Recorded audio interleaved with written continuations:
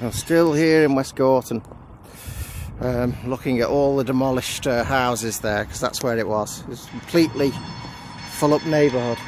Oh, that's caused by that train over there, that sound.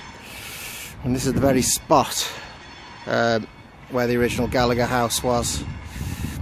They were almost dwarfed by tower blocks, only one of them remains. It almost looks like nothing was ever here.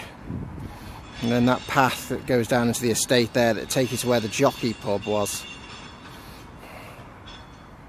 It's all just, yeah, gone in 2015. As councillors in the area try to shed the shameless image.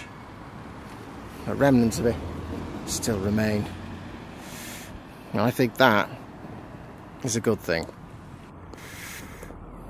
Especially, especially as there are areas like Anfield in Liverpool, for example, um, where they've been demolishing lots of houses, not always building them back up, and you know, there were real just small terraces in here.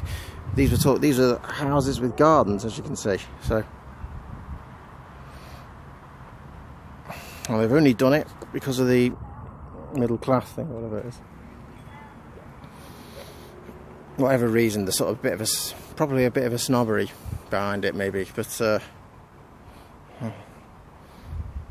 but the funding fell through with the coalition government in lots of areas of the country to get new housing put up. And as a result, um, a lot of places that started regeneration have ended up with pictures like this. Places where houses should should have been put, but at least there's a lot of green now. Yeah. So that's all new houses there, and everything's changed completely. Everything, as you can see. And this road will take you to the jockey pub.